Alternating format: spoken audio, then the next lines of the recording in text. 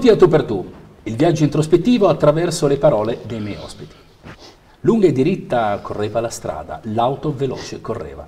Questo è solo l'inizio di un famoso brano musicale del 1968 e descrive in toto i miei ospiti di oggi.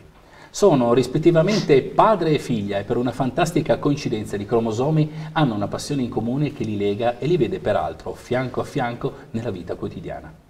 Si dice che l'apprensione di un genitore sia cosa nota rispetto ai propri figli e nella natura umana e ci identifica giocoforza nei rispettivi ruoli, sociali e istituzionali.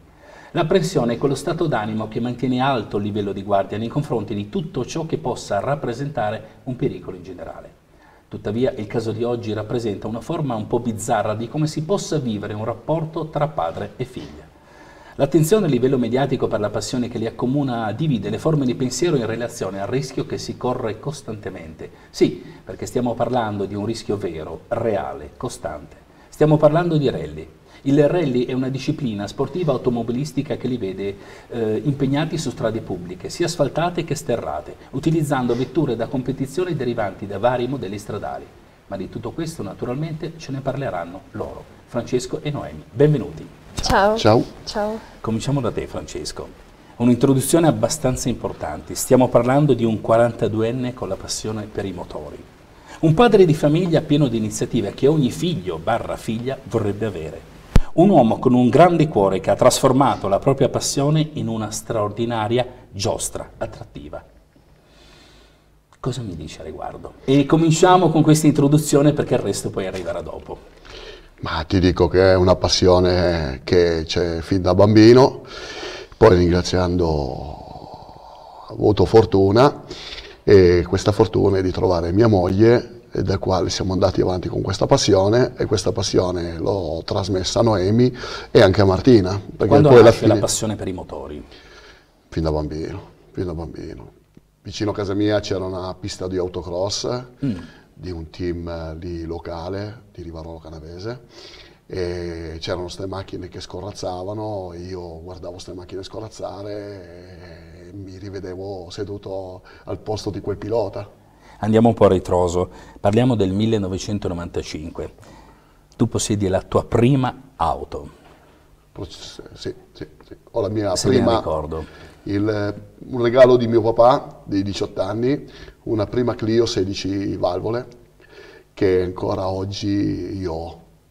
E l'anno successivo cosa è successo? Cosa è capitato? Stiamo parlando poi del 1996.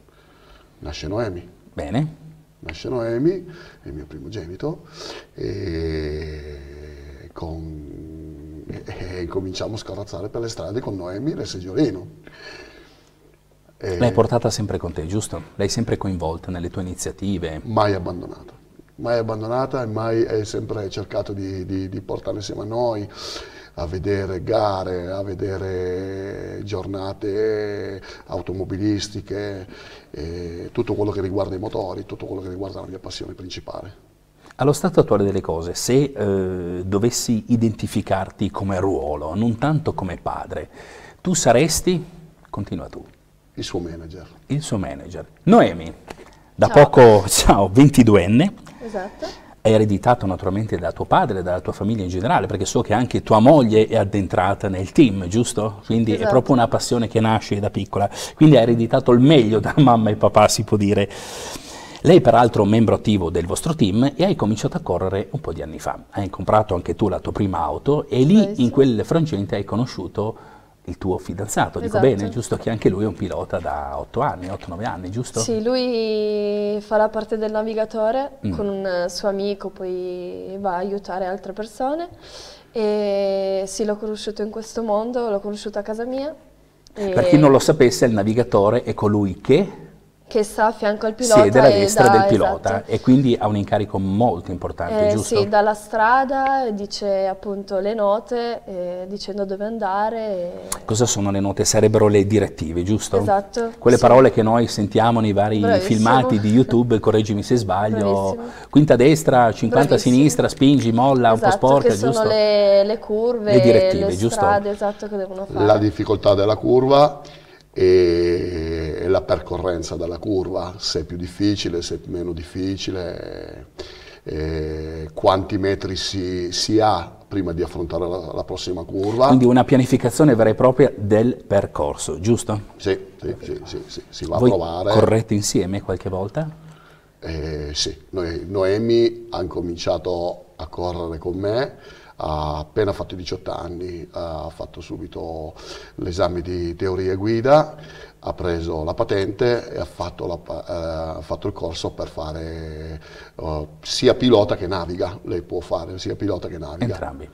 Nel momento in cui vi siedete in macchina, da padre, che pensiero ti passa per la testa? Hai a fianco tua figlia, quindi ovviamente è inutile discutere una grandissima responsabilità, però da padre che pensiero ti passa per la testa? Ma sono sincero, ehm, allora non, non, devi pensare troppo perché se pensi non fai la tua gara in tranquillità e, e, non puoi metterti lì a pensare perché poi le curve comunque vengono una dietro l'altra, è veloce, la, la, il sistema è veloce. Cerchi di essere responsabile, cerchi di non sbagliare e cerchi di, di ascoltare il più possibile le sue direttive perché comunque la fiducia che io devo dare a lei è, è, molta, perché è molto importante quello che lei mi sta dicendo, perché quello che mi sta dicendo è quello che in realtà io trovo, perché dietro una curva eh, trovo il destra 3, trovo un destra 2, trovo un destra 1, trovo un tornante. Io non posso ricordare tutta la strada, allora ascoltando bene eh, nel profondo le, le, sue, le sue direttive e dandogli veramente fiducia io riesco a essere sciolto, riesco a essere tranquillo. Hai detto una parola molto importante, fiducia, un rapporto di fiducia che naturalmente viene anche trasmesso all'interno del nucleo familiare, giusto? Quando vi svestite dei vostri panni da pilota e ritornate a essere famiglia, che cosa cambia, se qualcosa cambia, all'interno del vostro rapporto? Noemi. Ma in realtà niente perché c'è un rapporto anche d'amicizia. Essendo tutti molto giovani c'è un rapporto così molto... Sì, io la ringrazio perché dice che sono giovane. È pur sempre tuo padre. Eh. Però um, fuori dalle vesti del rally comunque abbiamo una vita molto avvicinata al rally perché appunto abbiamo il team, eh, il mio fidanzato comunque quando corre lui non corro io, comunque al contrario, quindi c'è il lavoro, ok, ma siamo molto in questo mondo. Quindi si può dire che vivete la vostra quotidianità eh, a stretto contatto con i motori esatto. quotidianamente, quindi è una famiglia basata sui motori, giusto? Sì, sì, Cosa sì. mi racconti di tua moglie? Perché un uccellino mi ha detto che, correggimi se sbaglio, è addentrata all'interno di questo campo, è un correggimi, è un capomeccanico se non erro, perdonami. Eh. Sì, lei gestisce tutto quello che eh, in pratica quando noi finiamo una prova speciale la prima cosa è la telefonata, a, gli dico telefono subito a mamma per tranquillizzarla perché comunque c'è Noemi di fianco, ci sono io ma c'è anche sua figlia e giustamente per tranquillizzarla gli telefoniamo e poi diciamo tutto quello che noi necessita, se c'è una gomma, se abbiamo avuto un problema, che problema abbiamo avuto, eh, le pastiglie dei freni, le gomme, il cerchio, la, le testine, tutto quello che riguarda un'autovettura, quello che si può danneggiare in prova speciale perché purtroppo c'è anche questo rischio di poter fare dei danni all'autovettura. E allora lei gestisce tutto questo, questo sistema in pratica tutte le persone che sono in assistenza, che ci stanno aspettando, si dividono e ognuno ha la sua mansione. Si parlava prima del rapporto di fiducia che c'è tra, tra, voi due, quindi una sorta a volte di inversione di ruoli, giusto? Gioco forse tu devi avere fiducia di lei, quindi è lei che ti guida. L'unica volta che mi ascolta. Ovviamente questa è un'anteprima di Obiettivo News, qui a tu per tu, quindi taci, chi tace acconsente. Cosa mi dice a riguardo? È l'unica volta che mi ascolta. Ma sì. Qui io... viene fuori comunque un lato privato che è importante far venire fuori perché viene contestualizzato poi nel vostro... Nella vita privata, nella vita, nella vita privata io sono una persona un po' un carattere duro. Mm. Un carattere duro e ringraziando penso anche questo carattere un po' duro, eh, oggi ne raccolgo i frutti. E i risultati. E, e sono, sono, veramente contento, soddisfatto e orgoglioso di quello che ho intorno, tutto. Mm. Adesso parliamo di un'iniziativa molto bella che avete creato, chiamasi Busano Motor Show. Descrivi un attimo questo tipo di grande iniziativa che a livello mediatico ha suscitato notevole interesse da parte delle autorità locali, innanzitutto, e di tutta la gente in, in, generale. Quindi descrivi un attimo quando è cominciato, quando vi è venuta l'idea, quando è stata la prima edizione, che cosa fate e soprattutto perché lo fate.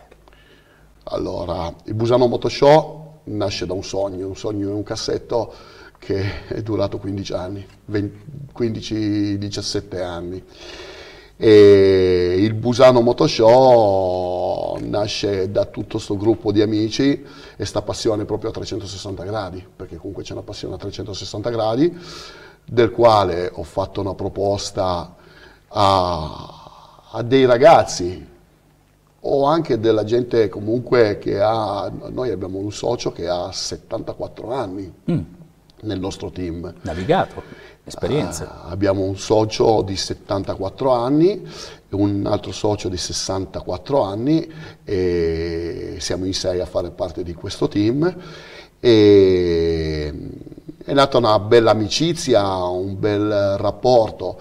Loro hanno ascoltato la mia idea, gli è piaciuta e siamo riusciti a creare il Busano Motoshow. Nasce la parte burocratica, nasce la parte di parlare con il primo cittadino. Abbiamo parlato col primo cittadino, titubante perché non conosceva... Che è il vostro primo fan, peraltro. Sì, sì, sì. Non, è una persona che subito non sapeva perché non conosceva questo sport, non conosceva, non conosceva proprio come si eh, svolgeva, cose varie ci ha dato veramente una fiducia immensa, mm. io lo ringrazierò finché vivo perché ha, grazie a lui siamo riusciti a creare quello che a me piaceva veramente fare. I risultati sono sotto gli occhi di tutti. Noemi, se io dovessi definire il Busano Motor Show, lo definirei con tre parole, motori, buon cibo e tanta solidarietà. Adesso parlerò di una cosa, lo faccio a te perché lui si emoziona molto in queste cose. Ti chiedo gentilmente di spiegarmi che cos'è il taxi drift. Allora, il taxi drift è stato pensato da tutto, da tutto il nostro team. Praticamente si organizza con una giornata che è stata il sabato pomeriggio. Mm. Eh, L'edizione passata. Dell'edizione mm. sì, del, di ottobre del 2017. 18. Eh, 18, scusatemi. Tanto gli anni corrono talmente veloci esatto. che a volte esatto. facciamo fatica pure a tenerli 2018. a conto e praticamente varie persone con delle auto, di solito mh, noi non abbiamo delle preferenze, ci sono queste persone che si offrono volontarie eh, senza chiedere soldi su benzina, assolutamente Sì, sì, assolutamente, niente. sono a conoscenza di queste cose. Noi non chiediamo assolutamente il costo dell'iscrizione del sabato pomeriggio e queste persone fanno il taxi ai bambini del Regina Margherita. Mm. E sono venuti raccolti dei soldi dalle persone che volevano salire esterne con eh, vabbè, la, lo scarico di responsabilità eh, per comunque essere tranquilli sia noi Però io che so che il personale che collabora con voi è comunque personale specializzato, esatto, autorizzato bravissimo. naturalmente da voi e quindi esatto, comunque sia esatto. con tutti i crismi bravissimo, e i criteri. Abbiamo, abbiamo, abbiamo, abbiamo, dei piloti molto, molto all'avanguardia, abbiamo dei piloti molto all'avanguardia, siamo sinceri, non prendiamo il primo che passa e Ovvio. dice faccio il taxi Ovvio. drift. Ovvio. Abbiamo delle persone qualificate che sanno quello che fanno e le prendiamo e, e mettiamo questi ragazzi, sia i ragazzi del, del Regina Margherita, del reparto oncologico, sì.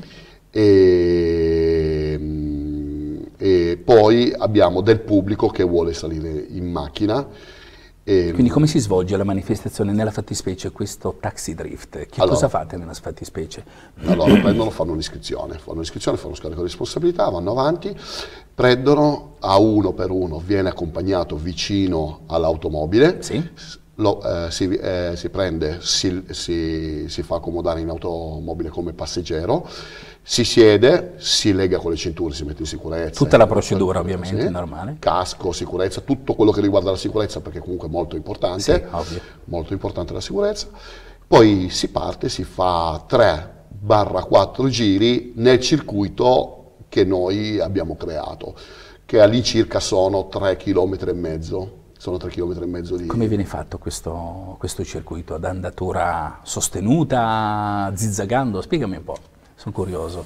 Allora, cerchiamo di essere, di, di fare veramente attenzione, cerchiamo di fare veramente attenzione eh, di, perché comunque le persone che si portano sono persone che comunque non sono pronte a, a capire proprio al 101% come non è una, una, persona che tutti i giorni fa questo. Allora cerchiamo di fare, ci, ci conteniamo un po'. Mm. Secondo te come, come viene presa questa iniziativa a livello mediatico? Le persone come rispondono? Eh, dall'affluenza che abbiamo avuto abbiamo trovato molto positivo il risultato perché appunto l'associazione che avevamo con noi ha raccolto un bel grumuletto Una di soldi somma, esatto, certo. ed è stato tutto donato al, al, Regina Margherita. Questo sicuramente vi fa molto onore perché una, uh, tra virgolette, un fiore all'occhiello del Busano Motor Show è proprio la solidarietà chiedo scusa, che fate a favore delle persone un po' più bisognose. Inoltre so che siete impegnati in altre azioni di solidarietà con un gruppo di Leni, se non erro, se, no, se non erro. e quindi ti dirò mh, mm, tanta, tanta, tanta roba. Verrebbe da chiedere di cosa stiamo parlando. Parliamo anche del buon cibo che viene elargito durante queste manifestazioni, quindi chi partecipa? cucina autoctona, eh, le cascine dei paesi vicino, piuttosto che conoscenti, amici, una sorta no. di street food? No, noi abbiamo cercato di, per comunque eh, sostenere tutto e un'unica persona non può fare tutto quello Ovvio. che stiamo facendo, ci siamo affidati a una persona che comunque ha, ha bussato, ha chiesto permesso e gli abbiamo dato il permesso di entrare a far parte di questa famiglia. In punta di piedi, come si suol dire, giusto? Sì, sì, sì, è stata molto umile, è una persona che è un po', a livello caratterialmente è un po' chiusa e ha bussato proprio a punta di piedi. Eh, quando ha bussato l'abbiamo accolta e ci ha ringraziato, ancora ti dico l'altro giorno solo leggevo un messaggio scritto da lei, solo una parola, grazie e mi ha fatto molto contento perché eh, questa signora ha il locale che, che, ci ha sostenuto, si chiama Il Veliero di Busano. È un locale, è un locale della zona, certo, un normale, locale certo del territorio. sì, e a 300 metri da dove noi svolgiamo il Busano Motoshow Comunque abbiamo deciso, dice, ma se, se, volete una mano io ci sono.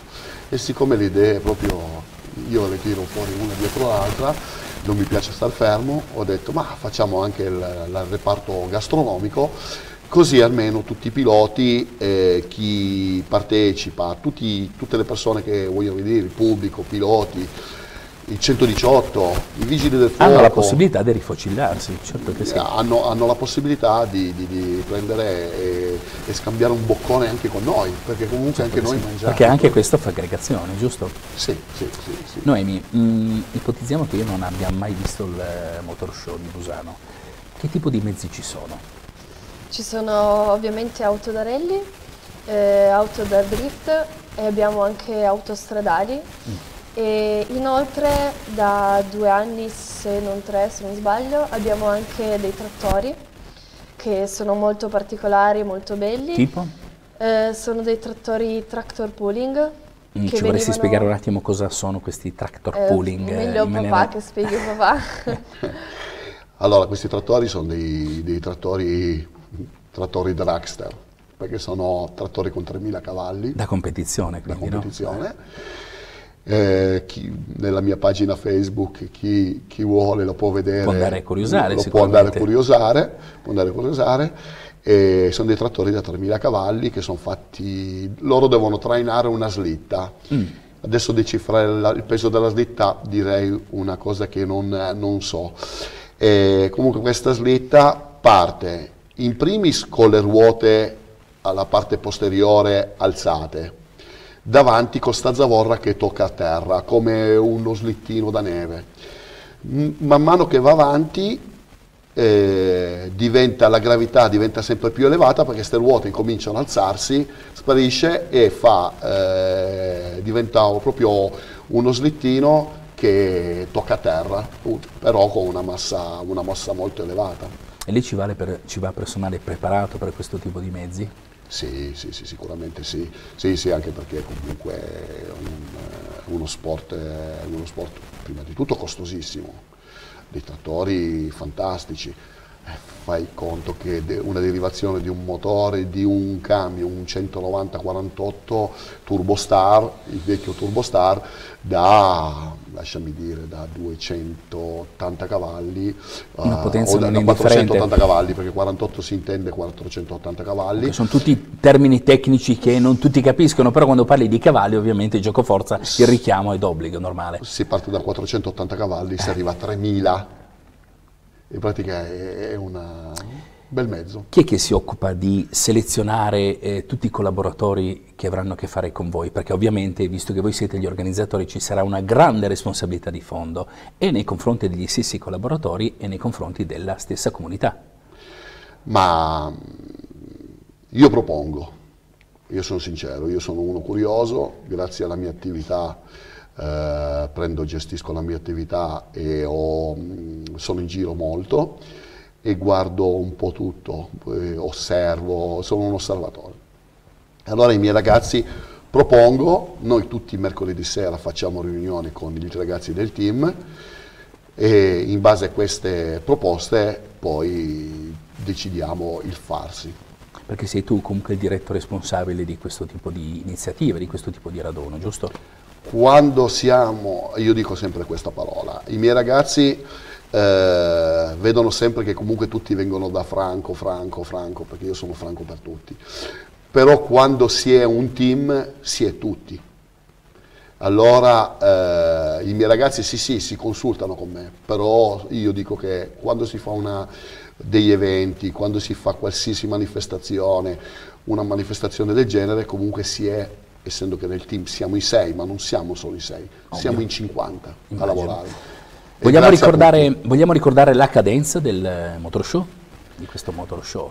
Allora, la, la, una data presunta, una data presunta 2019, ne abbiamo già parlato con l'autorità, ne abbiamo già parlato col sindaco di Busano e abbiamo già messo una data 12, 13 e 14 aprile 2019. Perfetto. È iniziata? Questa rassegna quando? Allora, 6, allora, uh, noi abbiamo cominciato il primo, il primo evento... In che anno? 2000... 2017. 2017. E siamo Avete arrivati alla quinta edizione. Perfetto. Quindi, Motor Show di Busano, solidarietà, tanto buon cibo e tanti tanti motori. E a riguardo io vorrei chiudere questa nostra puntata con una frase che enfatizza un attimo la paura e l'apprensione per i motori e per le corse. Un giorno la paura bussò alla mia porta. Il coraggio andò ad aprire e non vide più nessuno. Per questa puntata è tutto, vi richiamo la prossima settimana. Un grazie ai nostri ospiti. Ciao da Fabrizio Carbone. Buona serata.